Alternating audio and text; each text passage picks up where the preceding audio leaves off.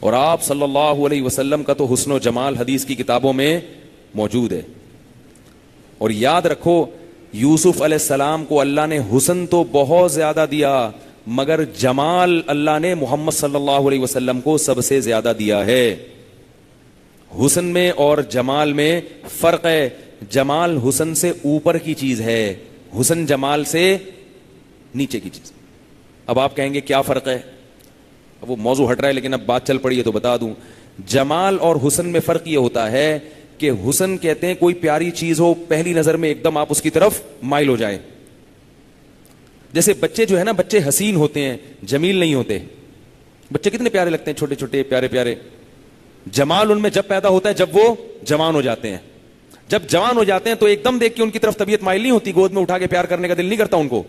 لیکن جب اس کے ساتھ آہستہ آہستہ رہنا شروع کرو گے تو اس کے جمال سے متاثر ہو کر اس پر عاشق ہو جاؤ گے یہ ہوتا ہے جمال یعنی ہر لحاظ سے اعضا میں تناسب ہو، بولنے کا انداز، چلنے کا انداز، بات، بچے جو چلتے ہیں ٹیڑے میڑے چلتے ہیں۔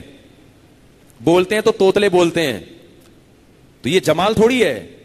جب جوان ہوتے ہیں، کیسا جوان آدمی کی چال میں وقار پیدا ہوتا ہے۔ پھر ہر ایک کی اپنی چال ہوتی ہے۔ بعض پھتک پھتک کے چلتے ہیں۔ ٹھیک ہے نہیں ہوتا۔ بعض کی چال بڑی اسٹائلش ہوتی ہے۔ ان کو بنینزا والے اپنے اشتہار میں لے کر آتے ہیں کہ آپ ذرا چل کے دکھائیں پلیز۔ ٹھیک ہے نا؟ تاکہ وہ پھر ٹی وی میں آئیں گے نا۔ تو باڈی لینگویج ہے، بولنے کا انداز ہے۔ یہ ساری چیزیں جو ہمارے محمد صلی اللہ علیہ وسلم میں یہ جو جمال تھا، ایسا جمال اللہ نے کائنات میں کسی میں پیدا نہیں کیا۔ یوسف علیہ السلام جمال میں ہمارے نبی سے کم تھے، حسن میں زیادہ تھے۔ تبھی آپ دیکھیں کہ حضرت یوسف کو پہلی نظر میں عورتوں نے دیکھا تو ہاتھ کاٹ ڈالے، کیونکہ حسن تھا۔ حضرت عائشہ فرماتی ہیں کہ نبی صلی اللہ علیہ وسلم کے جمال کو اگر عورتیں دیکھ لیتی تو گردنیں کاٹ دیتی۔ تو آپ کہہ سکتے ہیں بھائی بہت سی خواتین نے نبی کو دیکھا تو گردن کیوں نہیں کاٹی؟ ایک دفعہ دیکھا، رہی نہیں۔ رہی کون تھی آپ کی؟ زوجات آپ کی بیویاں آپ کے ساتھ رہی تھیں، حضرت عائشہ اور دوسری۔ وہ پھر عشق سے بھی زیادہ محبت کیا کرتی تھی محمد صلی اللہ علیہ وسلم سے، کیونکہ جمال اس حسن کو کہتے ہیں جس میں روب ہو۔ عورتیں حسین ہوتی ہیں، مرد جمیل ہوتے ہیں۔ اس سے بھی بڑا واضح۔ اور اللہ تعالیٰ نے مرد کو ہمارے حضرت فرمائے کرتے تھے، عورت سے زیادہ خوبصورت بنایا ہے۔ آپ حیران ہو یار، یہ تو غلط غلط باتیں شروع کرتی ہیں۔ حقیقت ہے یہ۔ مرد کو اللہ نے عورت سے زیادہ خوبصورت بنایا ہے۔ اس کی بہت ساری دلیلیں ہیں۔ پہلی دلیل کو اللہ نے ہر صلاحیت مرد میں زیادہ رکھی ہے تو جمال زیادہ کیوں نہیں رکھا ہوگا؟ اس میں وہ کامل ہے۔ عورت کو تو کمزور بنایا ہے۔ دوسری بات یہ کہ اگر آپ کو یہ بات سمجھ میں نہیں آتی تو جانوروں میں دیکھ لو۔ دنیا میں جتنے بھی جانور ہیں، ان میں نر زیادہ خوبصورت ہوتے ہیں اور مادہ خوبصورت نہیں ہوتی۔ مرغا مرغی میں کون خوبصورت ہے؟ بولو نا یار، کوئی پریشانی کی بات۔ مرغا۔ میں جب کوئی بات شروع کرتا ہوں تو وہ کھوپڑی میں اتار دوں۔ مرغے میں حسن نہیں ہے، کیا ہے؟ جمال ہے، حسن مرغی میں۔ اچھا کون لگتا ہے؟ مرغا، جمال کی وجہ سے۔ وہ الگ بات ہے کہ اس کو اچھی مرغی لگتی ہے۔ لیکن اگر آپ ایک تھرڈ پارٹی دیکھے گی تو اس کو کون اچھا لگے گا؟ مرغا۔ اس میں کیا ہے؟ روب ہے، جمال ہے، کلغی ہے، اس کی آواز ہے، کیسے چیختا ہے؟ مرغی تھوڑی چیخ سکتی ہے ایسے۔ چال دیکھو مرغے کی، اسٹائل دیکھو بات چیت کرنے کا، گردن ایسے اکڑ کے دیکھتا ہے۔ تو یہ جمال ہے۔ ببر شیر اور شیرنی میں کس میں زیادہ خوبصورتی ہے؟ شیر۔ بال ہے اس کی چال زیادہ خوبصورت ہے شیرنی سے۔ اسی طرح یہ جو سرخاب ہے نا، سرخاب۔ سرخاب کا نر ہے جس کو سرخاب کہتے ہیں۔ سرخاب کی مادہ میں خوبصورتی نہیں ہے۔ مور کو دیکھ لو۔ مور میں نر ہے جس کے خوبصورت بال ہیں اور ایسے پر پھیلا کے کھڑا ہوتا ہے۔ مورنی میں وہ خوبصورتی کہیں بھی نہیں ہے جانوروں میں۔ کوئی جانور ایسا نہیں ہے جس میں مادہ زیادہ خوبصورت ہو۔ تو انسانوں میں کیسے ہو سکتا ہے؟ وہ آپ کو اور ہم کو کیوں اچھی لگتی ہیں؟ وہ ایک الگ بات ہے۔ وہ ایک الگ چیز ہے۔ کیونکہ ان میں حسن ہے نا۔ حسن کی طرف فوراً مائل ہوتا ہے انسان۔ فوراً مائل۔ جیسے کسی بچے کو ہم دیکھتے ہیں تو فوراً دل چاہتا ہے بچے کو کتنے پیارے ہوتے ہیں۔ چھوٹے چھوٹے منہ چھوٹا منا، کہتے ہیں نا لوگ اس کو۔ لیکن جمال کب پیدا ہوگا؟ جوان ہو جائے گا۔ پھر اس میں بچے تو لڑک لڑک کے چلتے ہیں اور ادھر گر رہے ہیں، بات کرتے ہیں توتلے، یہ کوئی خوبصورتی تھوڑی ہے؟ خوبصورتی تو جب ہے، جب بات کرنا سیکھ جائیں، چلنا سیکھ جائیں، لڑکے نہیں، گرے نہیں گھڑ سواری سیکھ جائیں اور یہ سب چیزیں سیکھ جائیں، پھر تو ہمارے نبی صلی اللہ علیہ وسلم کی جیسی چال تھی، ایسی چال، اتنی خوبصورت چال اس کائنات میں اللہ نے کسی کی پیدا نہیں کی۔ ہمارے نبی صلی اللہ علیہ وسلم کا بولنے کا جو انداز تھا، اتنا خوبصورت تھا کہ اس کائنات میں ایسا انداز اللہ نے کسی کا پیدا نہیں کیا۔ ہمارے نبی کے مسکرانے کا جو انداز تھا، ایسا انداز اللہ نے کسی کا پیدا نہیں کیا۔ آج پبلک کو ہنستے ہوئے تو دیکھو۔ ان کے لطیفے پہ اتنی ہنسی نہیں آتی جن کی ان کی جتنی ان کی ہنسی کو دیکھ کے ہنسی آ رہی ہوتی ہے۔ ٹھیک ہے نا؟ جو پبلک ہنس رہی ہوتی ہے۔ ایک دفعہ میں بیٹھا ہوا۔ یہ جو لڑکے لونڈے لپاڑے بیٹھے ہوتے ہیں نا سڑکوں پہ، ان کو ہنسنے کا انداز دیکھو ذرا۔ کہیں سے آئے گی، کھی کھی کھی کر کے آواز آنا شروع ہوگی۔ کبھی ایسا لگتا ہے جیسے ٹائر کا پن وہ ہوا نکل رہی ہے۔ کر کے۔ میں ایک دن میں نے کہا ٹائر وائر پھٹا ہے، کوئی ہوا نکل رہی ہے؟ پتا چلا کوئی بندہ ہنس رہا ہے۔ عجیب سے ماں باپ سکھاتے ہی نہیں کچھ۔ ہا ہا ہا ہا کر کے ہنس رہے ہیں پاگلوں کی طرح۔ رو رہے ہیں تو بعض لوگ روتے ایسے ہیں کہ ان کے رونے کو دیکھ کے انسان کی ہنسی نکل جاتی ہے۔ کہتے ہیں کیسے رو رہا ہے؟ تو ہمارے نبی کے رونے کا انداز دیکھو۔ ہمارے نبی کے مسکرانے کا انداز۔ تو ایک ایک سر کے بال سے لے کے پاؤں کے ناخن تک کوئی ایک چیز بھی ہمارے نبی کی ایسی نہیں تھی، کوئی انداز ایسا نہیں تھا جس میں کوئی ذرا سا بھی فالٹ نکال سکے۔ کہ نہیں جی یہ جو ہے نا، یہ والی ادا آپ کی ہمیں اچھی نہیں لگتی۔ تبھی تو جو تھوڑے دن نبی کے پاس رہتے تھے، وہ کیا ہو جاتے تھے؟ عاشق ہو جاتے تھے۔ اور آپ کی بیویوں کو آپ سے اتنی محبت تھی، یہ جو گورے اعتراض کرتے ہیں نا کہ محمد صلی اللہ علیہ وسلم پچاس سال کے تھے اور شادی نو سال کی لڑکی سے کی ہے، یہ تو معاذ اللہ ظلم ہے۔ امی عائشہ سے پوچھو کہ ظلم ہے یا یا ان پر احسان ہے؟ وہ اتنی محبت کرتی تھی محمد صلی اللہ علیہ وسلم سے، وہ یہ سمجھتی تھی کہ میرے باپ نے اس کائنات میں اس سے بہتر میرے لیے کوئی رشتہ تلاش کر ہی نہیں سکتا تھا میرا باپ۔ اتنی محبت تھی کہ ایک دفعہ حضرت سودا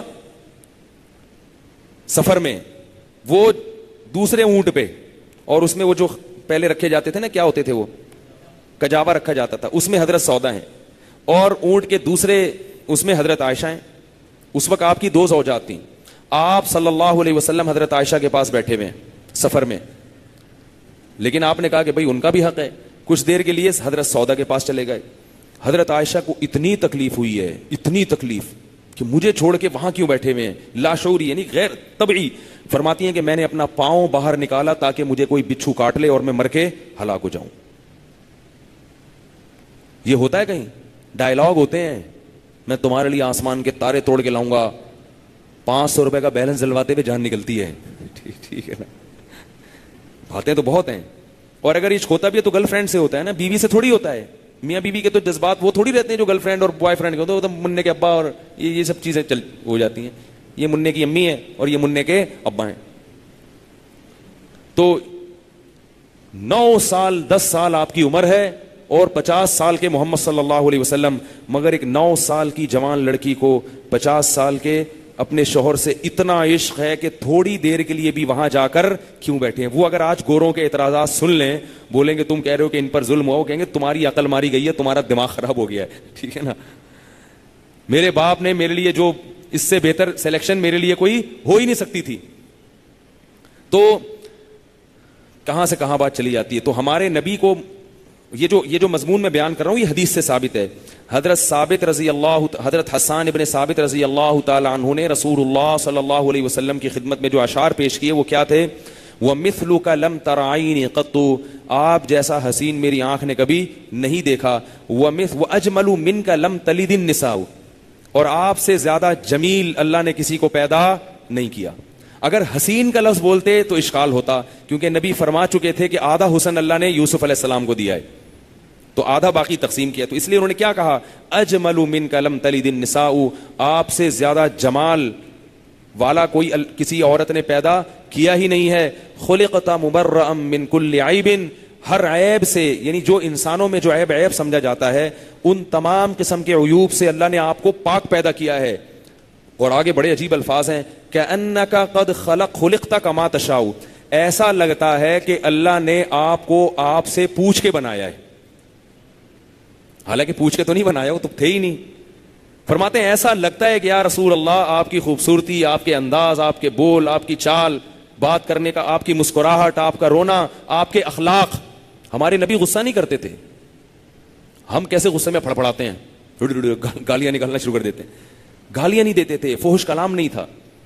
سخاوت تھی، دل کے باطنی اخلاق بھی بہت اچھے۔ بے انتہا سخاوت، فقر و فاقہ کا خوف ہی نہیں۔ ہمارے نبی کے ایسے خوبصورت انداز تھے کہ حدیث میں آتا ہے کہ آپ صلی اللہ علیہ وسلم نے حکم دیا تھا فتح مکہ کے موقع پر کہ فلاں شخص کو جہاں بھی پاؤ قتل کر دو۔ فلاں شخص کو جہاں بھی پاؤ قتل کر دو۔ وہ شخص کہیں بھاگ بھوک کے آگے آپ صلی اللہ علیہ وسلم کی خدمت میں بیٹھ گیا۔ اب آپ صلی اللہ علیہ وسلم کو صحابہ سے یہ وہ بہت بڑا مجرم تھا، اس نے بڑے بڑے جرائم کیے تھے۔ اس کی معافی نہیں کی تھی آپ صلی اللہ علیہ وسلم نے۔ وہ آپ صلی اللہ علیہ وسلم کے سامنے آ کے بیٹھ گیا۔ پھر اس نے کلمہ پڑھا، اسلام قبول کیا۔ تو آپ نے صحابہ سے پوچھا کہ میں نے تمہیں کہا تھا کہ جہاں پاؤ ان کو قتل کر دو۔ تو جب یہ میرے سامنے آ کے بیٹھا تھا، تم نے قتل کیوں نہیں کیا؟ بھائی میرا تو حکم یہ تھا نا کہ جہاں کلمہ تو بعد میں پڑھا ہے نا اس نے۔ تو صحابی نے عرض کیا، یا رسول اللہ، جب آپ کے سامنے بیٹھا تھا، آپ آنکھ سے اشارہ کر دیتے۔ آپ نے فرمایا، ما کان علی نبی ان تخون نبی کی شان نہیں ہے کہ اس کی آنکھ خیانت کرے۔ کیسے عجیب اخلاق ہیں۔ کیوں وہ میرے سامنے جب بیٹھا ہے، میں اس کی طرف متوجہ ہوں، وہ یہ سمجھے گا کہ میں اس کو قتل نہیں کر رہا اور میں بات اس سے کروں اور اشارے آنکھوں سے تمہیں کروں کہ اس کو مار دو۔ آج یہ ہوتا ہے کہ نہیں ہوتا؟ سامنے کچھ ہے پیٹ پیچھے کچھ ہے کیسے خوبصورت اخلاق ایک یتیم کے جو نہ کسی یونیورسٹی میں پڑھا، نہ کسی مدرسے میں اس نے علم حاصل کیا، لکھنا پڑھنا نہیں جانتے تھے، مگر اتنے بڑے دشمن کو جس کو قتل کرنا چاہتے ہیں، صحابہ سے امید رکھ رہے ہیں، میرے اشارے کے بغیر قتل کرو۔ اور صحابہ کہہ رہے ہیں، بھائی، اشارہ کیوں نہیں کر رہے؟ فرمایا، یہ کیسے ہو سکتا ہے میرے سامنے بیٹھا اور میں دوسری طرف آنکھ سے اشارہ کر رہا ہوں؟ تو یہ اخلاق تھے۔ تو انہوں نے کیا فرمایا کا قد خلقتا کما تشا ایسا لگتا ہے کہ اللہ نے آپ کو آپ سے پوچھ کے بنایا ہے۔ تو یہ بھی ہمارا عقیدہ ہے۔ تو کہاں سے کہاں بات چلی گئی؟ تو وہ ہندو نے اسلام کیوں قبول کیا؟ اس نے بولا کہ یار تمہارے نبی کیسے ہوں گے؟ ٹھیک ہے نا؟